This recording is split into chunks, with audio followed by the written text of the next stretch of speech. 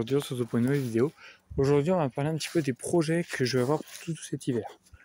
Donc, premier projet, c'est bon, ça j'en ai peut-être déjà parlé dans une autre vidéo, mais là j'ai toute cette bande là, il va falloir que je m'occupe, que je refasse un petit peu. Deuxième projet, taillage de l'ail. Troisième projet, m'occuper un peu de défricher un petit peu ici pour en faire un espace soit détente, soit euh, une partie avec euh, tout ça, et une partie avec des planches de culture. Quatrième projet, ça va être de m'occuper un petit peu d'ici et euh, de palisser la, les ronces. Cinquième projet, c'est dans la friche, c'est-à-dire que je vais très certainement me créer un chemin derrière les hibiscus. Il faut que je taille là-haut, que je m'occupe de tailler les hibiscus et que je coupe euh, un maximum le rosier qu'il y a là, parce qu'il commence à être un peu gros et que c'est un rosier sauvage qui pique beaucoup pouvoir justement aller jusque là-haut et euh, arrêter de passer ici.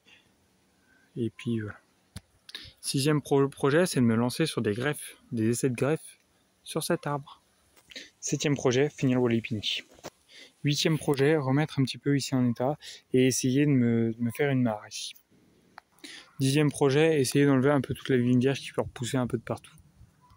Et le onzième projet, c'est tout simple, c'est tout simplement de payer le potager, de retourner si besoin, de d'enlever toutes les plantes de cette année, garder celles qui vont monter en graines pour l'année prochaine, par exemple. Euh, en gros, bah, m'occuper du potager. Voilà, merci à ceux qui ont vu cette vidéo, merci à ceux qui mettront des pouces bleus, des commentaires et tout le tralala. Et moi, je vous dis à bientôt pour d'autres vidéos. Allez, bye bye